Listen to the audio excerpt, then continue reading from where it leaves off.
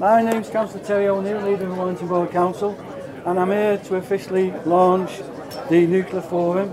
Just before I hand over to Andy, um, I'd like to say a couple of thank yous. I'd like to say thank you to Susan Spivey and the Birchwood Forum. I'd like to say thank you to Jonathan Walsh from MEPC, providing facilities for the forum to continue, and Birchwood Forum are actually underpinning the, the management of it to ensure that we have, actually have a nuclear forum in, in Warrington. Now, what I recognise that Sellafield Limited and the Nuclear Research and Development and all the supply chain that's at Birchwood is a key anchor to Warrington's economy. So I, I'm really pleased that the Nuclear Forum is continuing and I'd like to hand over to Andy Elsdon who's going to talk a bit about what that entails. Thank you. Thanks, so I'm uh, Andy Elsdon from the National Nuclear Laboratory. I'm here on behalf of a number of companies who've actually set up the Nuclear Forum. The intent of the forum is to provide a, a vehicle for informed networking for businesses in the Warrington and Cheshire area.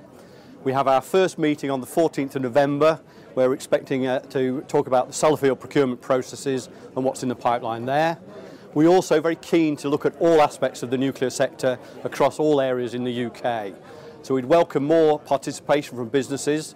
We don't actually have any promotional material just yet, but I'm sure if you uh, talk to Susan Spivey of the Birchwood Forum, you'll be able to get the details. So I look forward to seeing some of you at the first meeting. Thank you.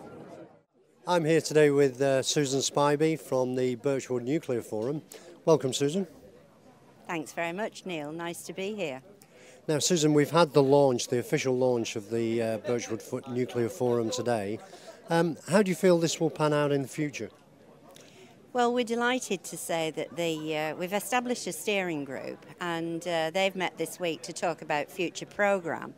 And uh, the intention is to have the first meeting on the 14th of November in Birchwood. We're delighted that uh, MEPC Birchwood Park have agreed to host the, uh, the meetings for us in the first instance.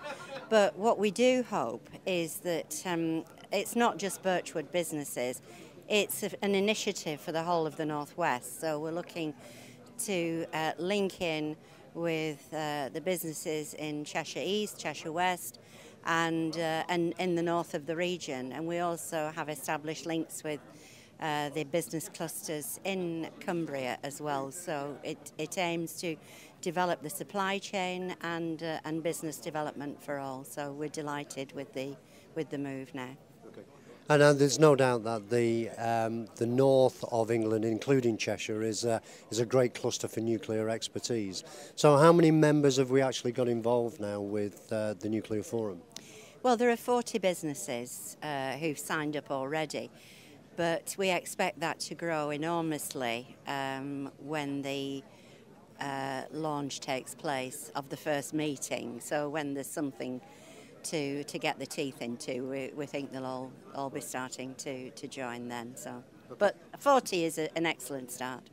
Oh, fantastic start. And what we'd like to do as part of Nuclear TV is to cover events um, that the Nuclear Forum uh, is putting on and to profile it regularly on Nuclear TV. Would that be possible, Susan? That would be wonderful, and, and I'm delighted that uh, Nuclear TV has taken off and Urenco is supporting that.